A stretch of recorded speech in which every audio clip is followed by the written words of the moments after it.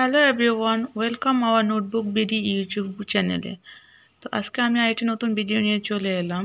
ভিডিওতে আমি কোনো রান্না বান্না করব না। আজকে আমি যে মিগেল মাছটা কিনে নিয়েছি, মিগেল মাছটা ওজন ছিল প্রায় ছয় কেজির মতো। আর মিগেল মাছটা খুবই বড় এবং খুবই তাজা ছিল।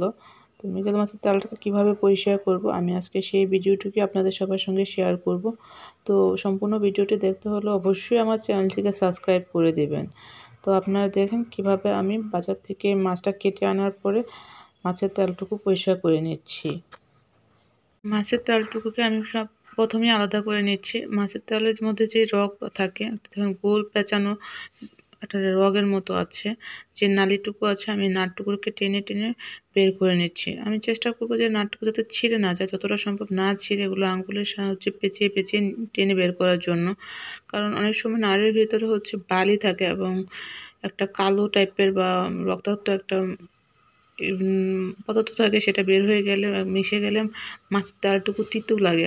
তো যাতে তিতা না লাগে এবং বালি না লাগে সেই জন্য হচ্ছে আমি চেষ্টা করব যতটা সম্ভব নারগুলোকে টেনে টেনে বের করে নেওয়ার জন্য। নারগুলোকে খুব ভালোভাবে দেখে দেখে বের করে নিব।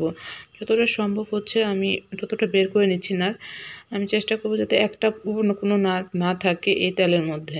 যখন আমার নারগুলোকে আমি সম্পূর্ণ বের করা হয়ে যাবে, সে পর্যায়ে আমি হচ্ছে এক চা চামচ পরিমাণ লবণ এবং অর্ধেকটা পরিমাণ হচ্ছে আমি লেবু নিব। লেবু এবং লবণ নিয়ে আমি একটা পাত্রের মধ্যে এই তেলটুকুকে নিয়ে খুব ভালোভাবে কষলিয়ে কষলিয়ে ধুয়ে নিব।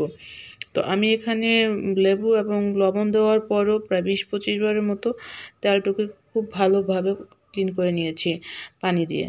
তো যত বেশি ক্লিন করা যায়, ততই বেশি হচ্ছে এটা থেকে স্মেলটা দূরে সরানো যায়।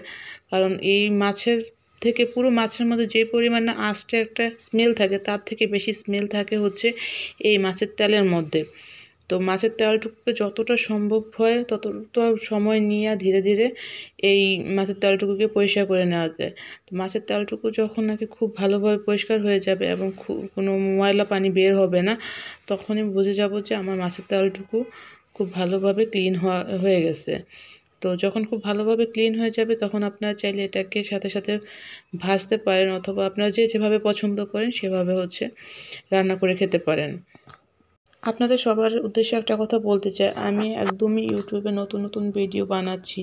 তো আপনাদের সহযোগিতা আমার খুবই দরকার। আমার ভিডিওতে যদি কোনো ভুল ত্রুটি থাকে, অবশ্যই আমাকে কমেন্টস করে জানাবেন। আর আমার ভিডিও যদি আপনাদের একটু ভালো লেগে থাকে, আমার চ্যানেলটিকে সাবস্ক্রাইব করে দিবেন। অলরেডি যারা সাবস্ক্রাইব করেছেন, তাদেরকে অনেক ধন্যবাদ। যারা এখনও চ্যানেলটিকে সাবস্ক্রাইব করেননি, তারা দয়া করে চ্যানেলটিকে সাবস্ক্রাইব করে দিবেন। তো সম্পূর্ণ ভিডিওটি দেখার জন্য অনেক ধন্যবাদ।